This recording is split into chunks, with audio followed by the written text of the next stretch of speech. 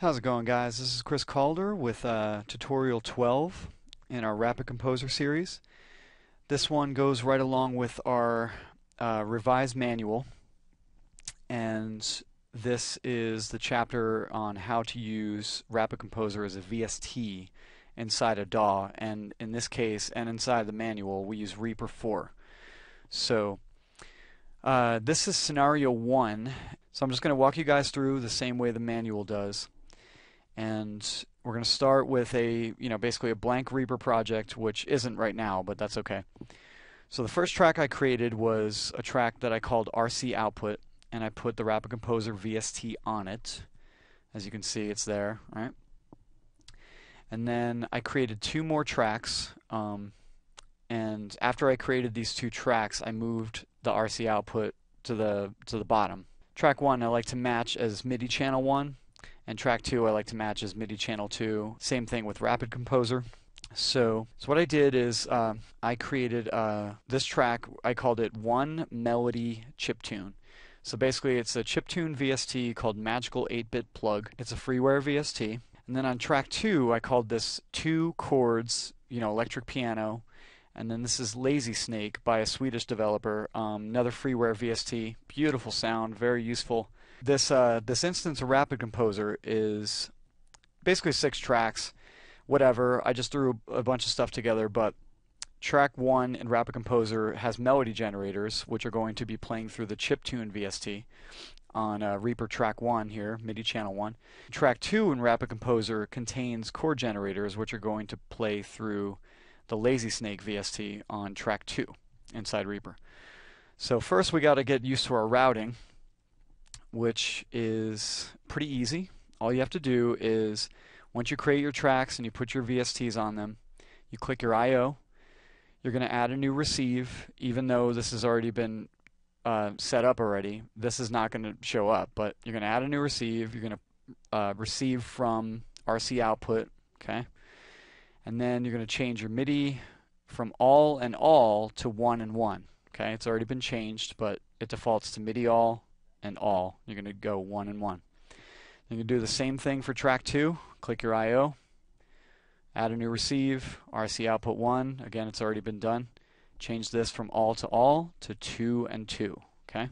Another important thing you have to do is you have to go into here. Whoops. You have to go in here again, input MIDI, map input to channel, channel 1. Okay? And then on here, again, once you set that, go a little further down. It's not going to have a check mark next to it. Map input to channel and change that to channel 2. So this way, when you select the track, it's playing the uh, VST that you have on that track. So you know, I got my MIDI keyboard connected. I'm just kind of messing around with the chiptune VST on MIDI channel 1. Then I select track 2 in Reaper. Now I'm playing Lazy Snake. Okay? Very useful. And, you know, Rapid Composer has to know this, so the melody generator is going to be automatically assigned to MIDI channel 1 because Rapid Composer automatically assigns MIDI channels as you add tracks. Okay, so as you can see, auto assigned 1, channel 2, auto assigned 2, right? And that's why you got to set Reaper to understand that, right? So, once you get all that done, you know, you know, you just make a rapid composer chord progression. You know, you throw your generators on, do what you want, and then you play it just to hear what it sounds like. Obviously, it's even though there's six tracks in Rapid Composer, you're only going to hear two. You know, the first two, and this is what they are.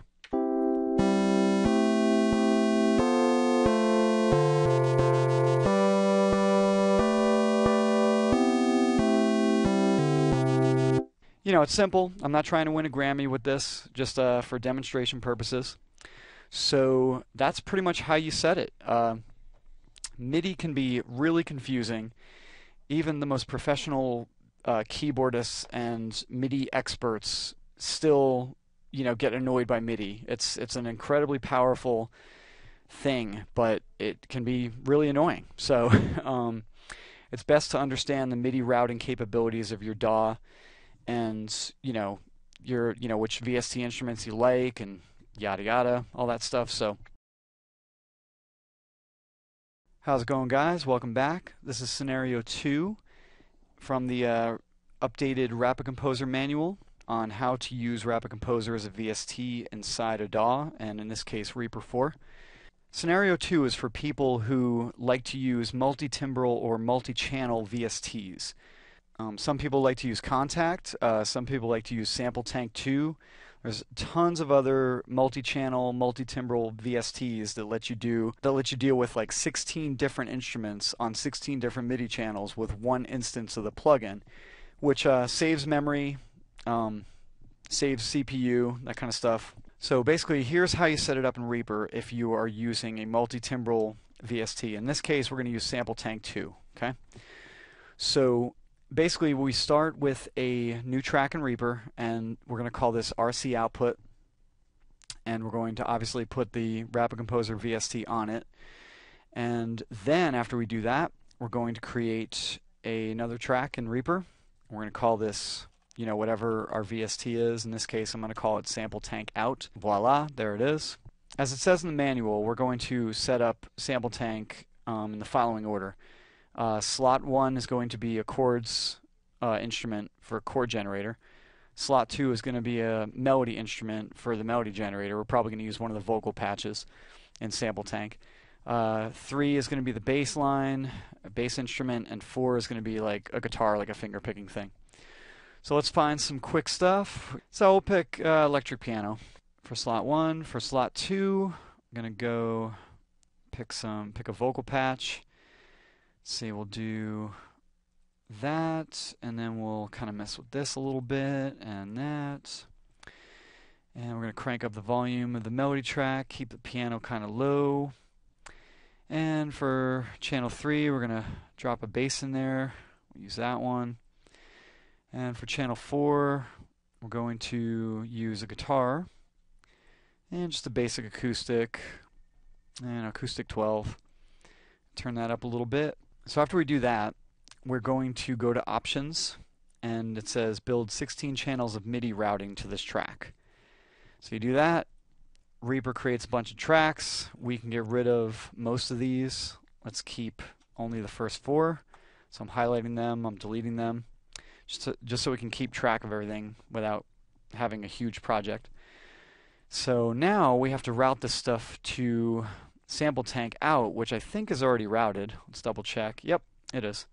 So if we click the I/O, it's receiving from all these tracks. And notice how the MIDI channels have already been set. They say all in one, all two, all three, all four. This should work, but if in case you run into problems, change the all to match the number right here. Okay. So now we're going to highlight these tracks. We're going to right click the record arm button and we're going to have it automatically record arm when track is selected. We're going to set record monitoring on. It's got MIDI all, all channels. So now we're going to set the map input to channel to each uh, thing each individual channel. So this is the second channel in sample tank. This is the third. And then we're going to do channel 4. Okay, so now if I have any of these tracks highlighted, they're going to play the sample tank instrument. Alright, so I'm, i have that track selected. Now this, there's a little vocal patch for the melody track. There's a little bass. Not the loudest, but, you know, whatever. Oh, that's why. And channel 4 is our little guitar sound. Alright. So now what we have to do is we have to route uh, Rapid Composer to Sample Tank because we want to send the MIDI from Rapid Composer to Sample Tank, which has already been routed. All we have to do is click the I.O. of the Sample Tank out track, and we're going to receive from RC output. And that should, yeah, okay. Now, basically, you know, we have our basic Rapid Composer composition. Again, it's not going to win any awards, and we don't care. Just for demonstration purposes. And I have six tracks here, but I'm only using the first four. So, actually, you know what? I'm going to change channel 4 to finger picking generators. Whoops, wrong one. Duh.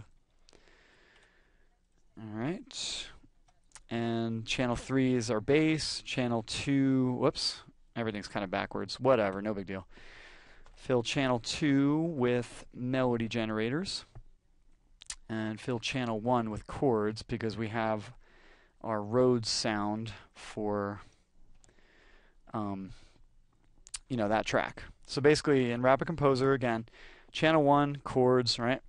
Channel 2 melody generators, channel 3 bass generators, channel 4 finger picking generators,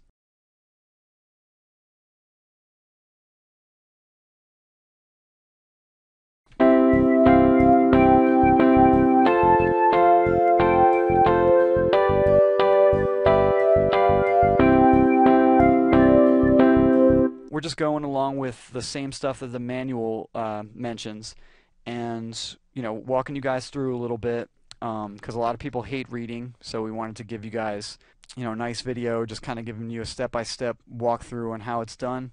So, you know, again, uh, using other DAWs, the steps are probably going to be the same as in other DAWs like Studio One or Pro Tools or whatever. I don't know. I don't really use those. I'm a Reaper fan myself. Um, so you know, it's just like you just got to understand how your DAW routes MIDI and its limitations or its lack of limitations. And uh, hopefully, you guys found this helpful and stick around for scenario three. So, this particular part of the chapter is scenario three, which is how to record the MIDI output from Rapid Composer into Reaper on Reaper MIDI tracks.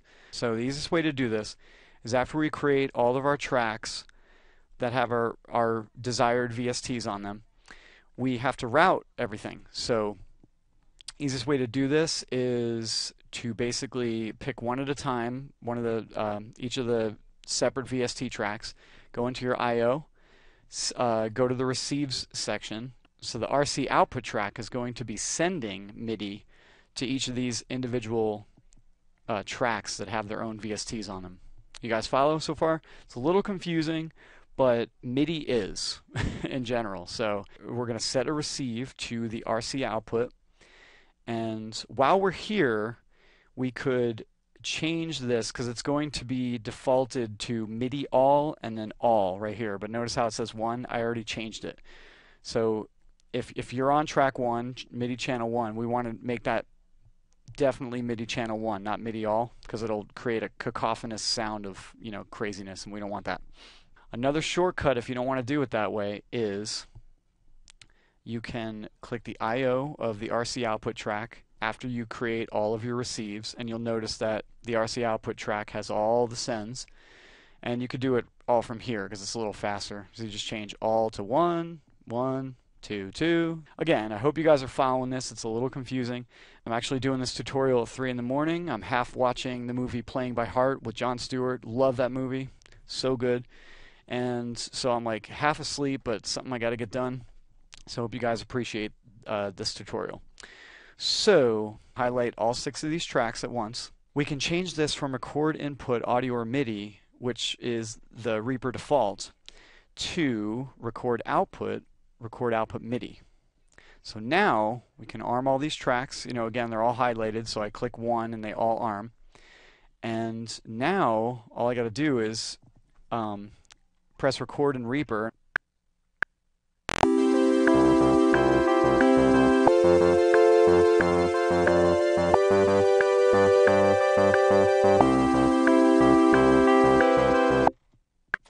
So yeah, that sounds pretty cool, you know, and as you could see, all the MIDI was recorded.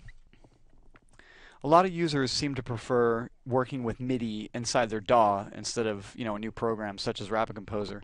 But, uh, you know, whatever you like. The option's there if you want it, and it's, you know, pretty cool. So that is scenario three from the Rapid Composer revised manual.